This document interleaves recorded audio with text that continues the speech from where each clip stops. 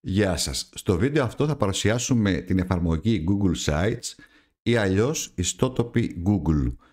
Είναι ένα εργαλείο με το οποίο μπορούμε να δημιουργήσουμε απλούς ιστότοπους βασισμένους στο περιεχόμενο. Εδώ δηλαδή να σημειώσουμε ότι δεν είναι τόσο ένα σύνθετο εργαλείο σχεδίασης ιστοσελίδων όπως το Wix και το Weebly ή το WordPress.com και δεν είναι λοιπόν κατάλληλο για εμπορικούς ιστότοπους ή για, γενικά για σύνθετους ιστότοπους με εντυπωσιακή εμφάνιση. Μπορούμε δηλαδή να χρησιμοποιήσουμε το Google Sites για να, γενικά για να δημοσιεύσουμε εύκολα και γρήγορα περιεχόμενο στον ιστό και συγκεκριμένα στην εκπαίδευση μπορεί να χρησιμοποιηθεί για να δημιουργήσετε σελίδες για τα μαθήματά σας, να παρουσιάσετε πληροφορίες και εκπαιδευτικό υλικό αλλά ακόμα πιο σημαντικό είναι οι ίδιοι μαθητές μπορούν σε αυτό, με αυτό να δημοσιεύσουν εργασίες, το χαρτοφυλάκιό τους και γενικά να το χρησιμοποιήσετε για θεματικούς ιστότοπους που προκύπτουν σε διάφορες περιπτώσεις στο σχολείο. Για να δούμε ένα παράδειγμα τι μπορούμε να κάνουμε λοιπόν με το Google Sites. Εδώ μια ιστοσελίδα που έχω κάνει γενικά για τα μαθήματα σε, στο ΕΠΑΛ με, για διάφορα μαθήματα λοιπόν έχω βάλει περιεχόμενο το οποίο το έχω χωρίσει σε σελίδες και υποσελίδες και έτσι λοιπόν το χρησιμοποιώ και σαν παρουσίαση αντί για παρουσιάσεις ε, δείχνω συντάξει το υλικό από τις σελίδες και αυτό το υλικό είναι και προσβάσιμο ε, το ίδιο στους μαθητές για να το έχουν μετά για μελέτη στο σπίτι. Το άλλο που μπορείτε να κάνετε είναι αν προκύψει ανάγκη για δημοσίευση περιεχομένου αντί να βάζετε το υλικό σε κάποιο drive μπορείτε να το παρουσιάσετε κάπως πιο όμορφα σε μια σελίδα. Και γενικά λοιπόν το Google Sites μπορεί να χρησιμοποιηθεί για να δημοσιεύσετε περιεχόμενο και ένα άλλο που το κάνει έτσι ξεχωριστό είναι ότι είναι εντελώς δωρεάν και έχετε τη δυνατότητα να δημιουργήσετε πολλές ιστοσελίδες δεν υπάρχει κάποιος περιορισμός. Ο μόνος περιορισμός είναι ο χώρος που θα καταλαμβάνει ο ιστότοπος γιατί είναι μια εφαρμογή του οικοσυστήματος του, της Google οπότε προσμετρά στο χώρο σας που έχετε στο Drive. Αλλά και αυτό είναι ένα άλλο πλεονέκτημα της εφαρμογής. Συνεργάζεται πάρα πολύ με το Google Drive. Μπορείτε πολύ εύκολα σε μια ιστοσελίδα να εσωματώσετε έγγραφα που έχετε στο Google Drive. Και επειδή οι ιστότοποι είναι και αυτή έγγραφα του Google Drive, μπορείτε να συνεργαστείτε όπως κάνετε και με ένα έγγραφο Google Drive, να έχετε συνεργάτες στην σχεδίαση μιας ιστοσελίδας και φυσικά και οι ίδιοι μαθητές μπορούν να συνεργαστούν στα πλαίσια μιας εργασίας να φτιάξουν λοιπόν ένα ιστότοπο. Για να κάνουμε λοιπόν να δείξουμε τώρα πώς φτιάχνουμε έναν ιστότοπο Google έχουμε καταρχήν συνδεθεί στον, ε, στο λογαριασμό μας Google και μπορούμε να πάμε στη διεύθυνση sites.google.com όπως είμαι εδώ εμφανίζονται οι ιστότοποι που έχω ήδη δημιουργήσει. Αν κάνω κλικ σε κάποιον μπορώ να μπω στο περιβάλλον επεξεργασίας. Για να δημιουργήσω ένα νέο πατάω το κουμπί συν. Ένας άλλος τρόπος είναι και μέσα από το drive. Αν είσαι μέσα από το drive μπορείτε από το νέο εδώ που λέει νέο περισσότερα να επιλέξετε ιστότοπος Google. Και εδώ κάθε ιστότοπος που δημιουργείτε θα εμφανίζεται και σαν έγγραφο στο Google Drive. Δηλαδή μπορείτε και από εδώ αν κάνετε κλικ να ανοίξετε έναν ιστότοπο. Θα δημιουργήσουμε λοιπόν, θα κάνουμε μια σαν έτσι παράδειγμα αυτόν εδώ τον ιστότοπο, έναν θεματικό ιστότοπο να παρουσιάσουμε κάποιες βασικές πληροφορίες για το BBC Microbit, μια έτσι πλακέτα προγραμματισμού και ηλεκτρονικής που έχει κατασκευαστεί και προωθείται από το αγγλικό BBC. Γυρίζω λοιπόν στο, στην αρχική σελίδα του Google Sites, πατάω λοιπόν το συν για να φτιάξω το νέο μου ιστότοπο.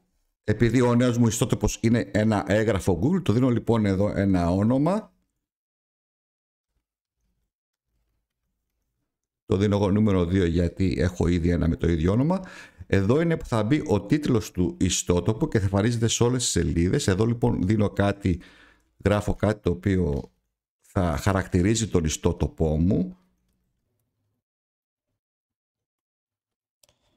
Και αν θέλω αντί για να γράψω ένα τίτλο στις σελίδες μπορώ να ανεβάσω ένα λογότυπο και από εδώ λοιπόν μπορώ να ανεβάσω με μεταφόρτωση ένα λογότυπο ή να επιλέξω από το drive. Ας δούμε λοιπόν με μεταφόρτωση ανεβάσω αυτό εδώ το λογότυπο και έτσι θα έχω λογότυπο αντί για το κείμενο ή μπορώ να έχω και τα δύο μαζί ή να σβήσω τον τίτλο και να έχω μόνο το λογότυπο. Εγώ όμως τώρα θα το αφαιρέσω. Θέλω να έχω μόνο το κείμενο. Και εδώ είναι που θα μπει ο τίτλος της σελίδας. Τώρα βρίσκομαι, έχω φτιάξει την αρχική μου σελίδα, όπως φαίνεται εδώ σελίδες. Κάθε ιστότοπος έχει τουλάχιστον μία σελίδα η οποία θα είναι η αρχική. Και όλο αυτό το κομμάτι λέγεται η κεφαλίδα του ιστότοπου. Μπορώ να τη διαγράψω αν θέλω, αλλά καλό είναι να υπάρχει μια κεφαλίδα. Ας γράψω λοιπόν εγώ τον τίτλο. Και επίσης μπορώ να προσαρμόσω την κεφαλίδα εδώ που λέει τύπος κεφαλίδας, αν κάνω με το ποντίκι, να βάλω μια εικόνα με μεταφόρτωση. Έχω επιλέξει μια εικόνα, λοιπόν, βάλω αυτήν εδώ. Και αν θέλω μπορώ εδώ που λέει τύπος κεφαλίδας να το κάνω, εδώ είναι τύπος banner, να είναι μόνο ο τίτλος, να μην έχει δηλαδή εικόνα, μεγάλο banner ή εξώφυλλο. Ας το αφήσω εγώ όπως ήταν λοιπόν σε μορφή banner. Και αφού λοιπόν έχω φτιάξει την κεφαλίδα μου, εδώ ξέχασα ένα κάποιο γράμμα,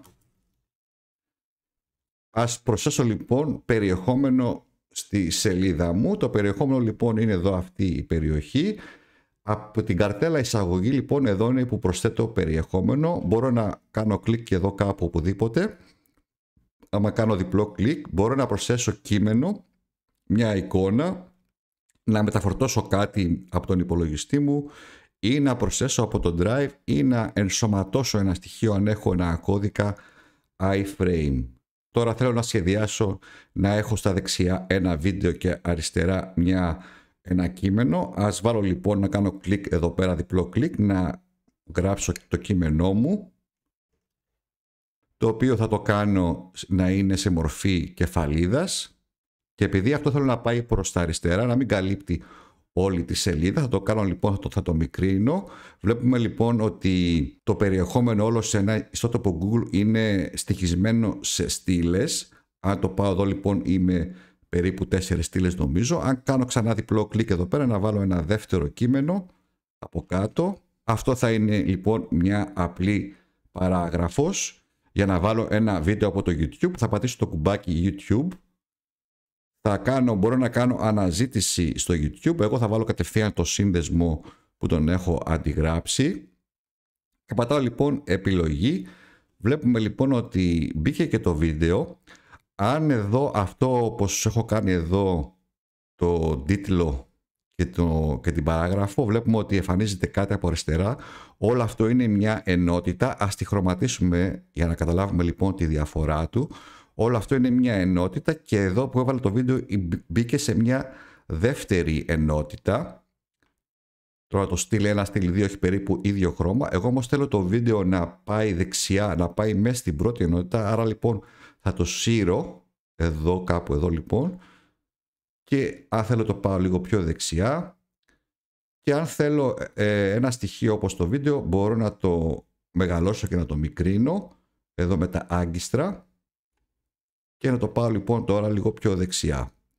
Και έτσι έχω κάνει το πρώτο μου στοιχείο περιεχομένου με, με μια διάταξη δύο στυλών. Εδώ αριστερά είναι το κείμενο και εδώ δεξιά έχω βάλει το βίντεο. Αυτό θα μπορούσα να το κάνω πιο εύκολα το δίστηλο αν επέλεγα αυτό το blog περιεχομένου. Είναι κάποια έτοιμα blog με τα οποία μπορούμε να φτιάξουμε περιεχόμενο και εδώ έχει ένα placeholder και να εισάγω μια εικόνα ή ένα βίντεο όπως έκανα πριν. Θα το διαγράψω όμως αυτό εδώ και ας βάλουμε λοιπόν και άλλο περιεχόμενο. Θέλω να κάνω τώρα ένα τρίστιλο με τρεις εικόνες και κείμενο από κάτω.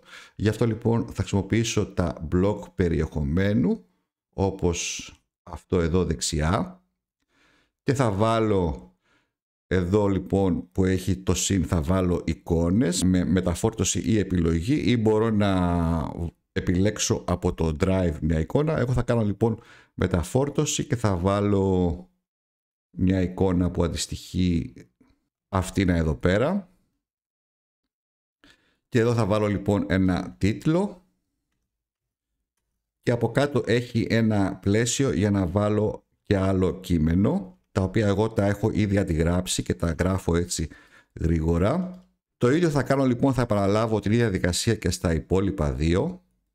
Και έτσι λοιπόν τώρα έχω ολοκληρώσει και θέλω σε κάθε εικόνα να έχει ένα σύνδεσμο με την αντίστοιχη πηγή. Για να βάλω λοιπόν σύνδεσμο σε μια εικόνα θα την επιλέξω κάνοντας ξανά κλικ για να εμφανιστεί μόνο η εικόνα, να εμφανιστεί δηλαδή αυτό το πλαίσιο. Και υπάρχει εδώ το κουμπί εισαγωγής συνδέσμου, θα κάνω επικόλληση το σύνδεσμο και έτσι θα επαναλάβω την ίδια διαδικασία για τις υπόλοιπες εικόνες και φυσικά συνδέσμους μπορούμε να βάλουμε οπουδήποτε στο κείμενό μας. Εδώ ήθελα να γράψω λίγο ακόμα κείμενο και να βάλω ένα σύνδεσμο. Για παράδειγμα αυτή είναι εδώ τη φράση να την κάνω σύνδεσμο. Άμα την επιλέξω εμφανίζεται εδώ στην μπάρα επεξεργασίας να κάνω εισαγωγή συνδέσμου. Και να βάλω και μια κεφαλίδα που ήθελα από εδώ πάνω. Να πατήσω λοιπόν απλά εδώ κλικ και να βάλω ένα κείμενο και να γράψω ένα κείμενο λοιπόν. Αυτό επειδή θέλω να πάει προς τα πάνω, να πάει πάνω από αυτό το τρίστιλο, μπορώ λοιπόν άμα το επιλέξω να το σύρω με το κουμπάκι εδώ που βγάζει, να το σύρω λοιπόν να πάει εδώ πάνω και να το κάνω αυτό να είναι κεφαλίδα και ας αλλάξω λοιπόν να το κάνω αυτό να είναι το στυλ με το χρώμα το μπλε και αυτό να είναι το στυλ το κανονικό. Και επίσης εκτός από κείμενο και εικόνες όπως είπαμε και πριν μπορούμε να προσθέσουμε περιεχόμενο από το Drive ή γενικά όπως έχει και εδώ πέρα κάποια ειδικά κουμπάκια να προσθέσω μια παρουσίαση η οποία όμως για να είναι προσβάσιμη σε όλους τον ιστό θα πρέπει την παρουσίαση γενικά ένα έγγραφο Google να το έχω κάνει δημοσίευση με σύνδεσμο.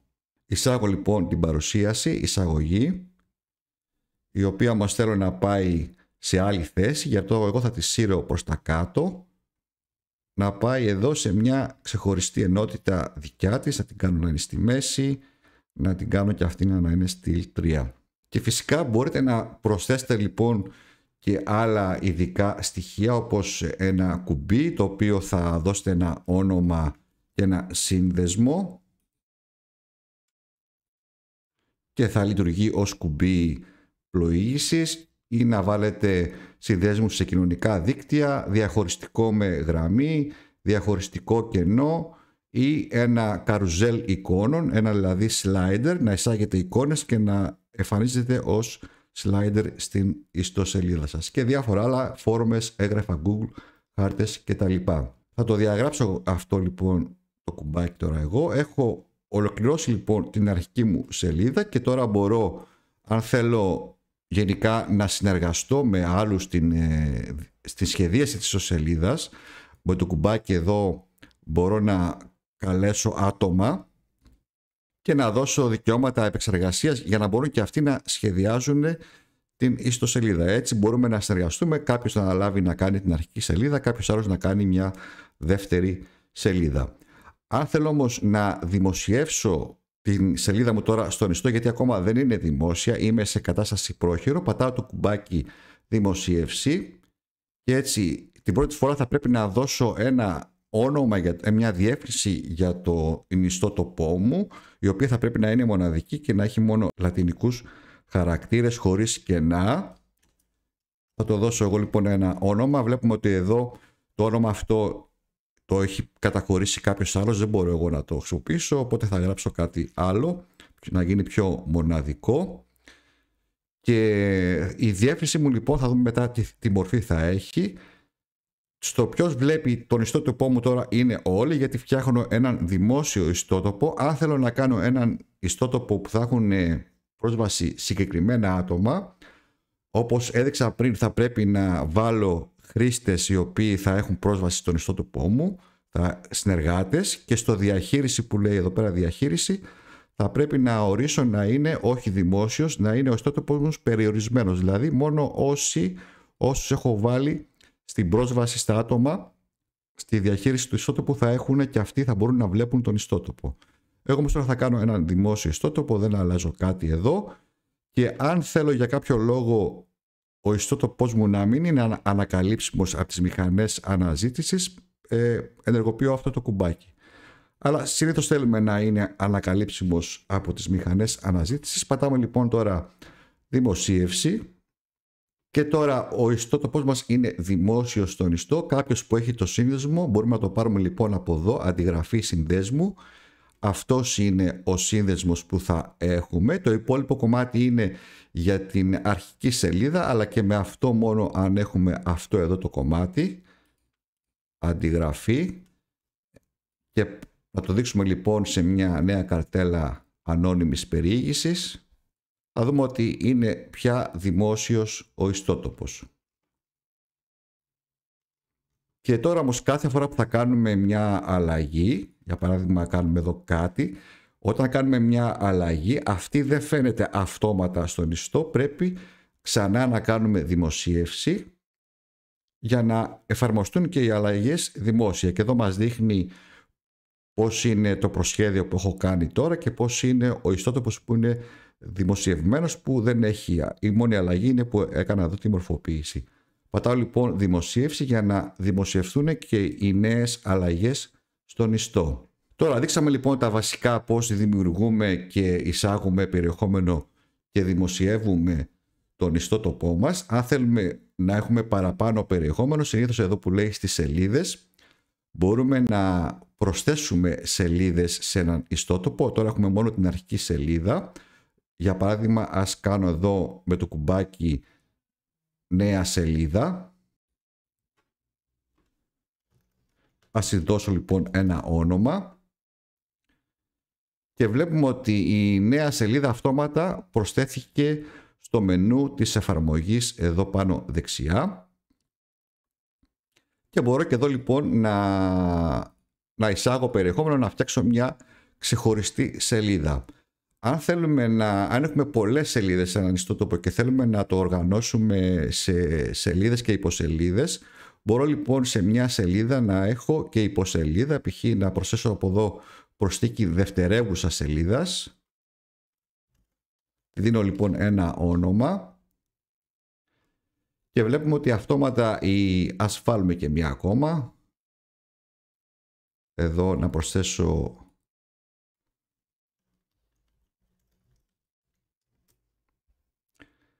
Και βλέπουμε λοιπόν ότι οι σελίδες αυτές είναι πια ξεχωριστές. Μπορώ να τις επεξεργαστώ όπως θέλω. Βέβαια, όλες οι σελίδες έχουν την ίδια κεφαλίδα.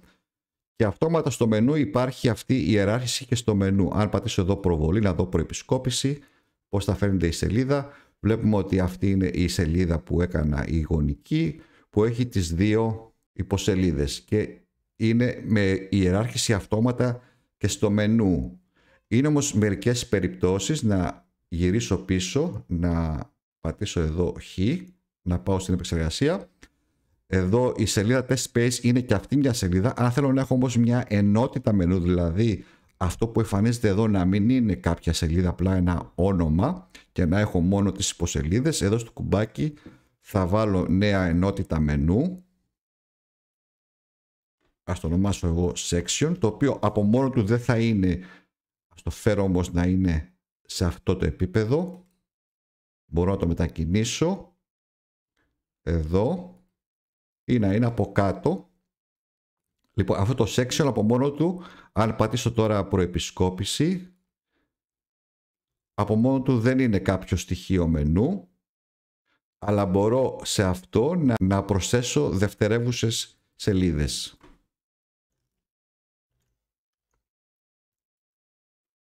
Και έτσι να έχω ένα στοιχείο μενού εδώ το οποίο από μόνο του δεν είναι σύνδεσμος και να έχει σύνδεσμο σε κάποια σελίδα. Εκτός από σύνδεσμο σε σελίδα μπορώ να προσθέσω και ένα σύνδεσμο κανονικό που θα οδηγεί κάπου αλλού. Να γράψω εδώ ένα σύνδεσμο εκτός από τον ιστότοπό μου. Και αφού λοιπόν δείξαμε πώς ε, δημιουργούμε σελίδες και υποσελίδες, το άλλο που δεν δείξαμε είναι τα θέματα εμφάνισης. Να πάω στην αρχική που έχω και περιεχόμενο όπως τα είδατε μέχρι τώρα στο Google Sites δεν έχουμε και πολλές επιλογές προσαρμογής της εμφάνισης και αυτό είναι σχεδιασμένο επίτηδες για να μπορούμε να συγκεντρωνόμαστε στο περιεχόμενο. Έχουμε όμως κάποιες βασικές επιλογές εδώ στα, στο θέματα εμφάνισης. Έχω επιλέξει ως συνεργό αυτό το απλό θέμα εμφάνισης. Μπορώ να αλλάξω όμως αν θέλω το βασικό χρώμα ή να επιλέξω ένα άλλο χρώμα που θέλω και να αλλάξω το στυλ γραμματοσυράς. Μου έχει τρία στυλ γραμματοσυράς, φωτεινό, κλασικό, έντονο ή έχει και κάποια άλλα θέματα εμφάνισης. Έχει μερικά από εδώ. Μπορώ να αλλάξω το θέμα ή επίσης αν θέλω μπορώ να, να, να δημιουργήσω ένα νέο θέμα εμφάνισης, να βάλω ένα τίτλο, να βάλω λογότυπο, εικόνα banner, να ορίσω τα χρώματα και τη γραμματοσυρές της κεφαλίδες. Να φτιάξω δηλαδή ένα δικό μου θέμα εμφάνιση το οποίο μπορώ να το χρησιμοποιώ σε άλλους και σε άλλους ιστότοπους ή αν έχω κάποιο άλλο θέμα εμφάνισης που έχει δημιουργήσει κάποιος άλλος χρήστης μπορώ να το εισάγω από εδώ. Και έτσι λοιπόν δείξαμε τα βασικά πώς δημιουργούμε και δημοσιεύουμε ιστότοπους με το εργαλείο Google Sites. Σας ευχαριστώ.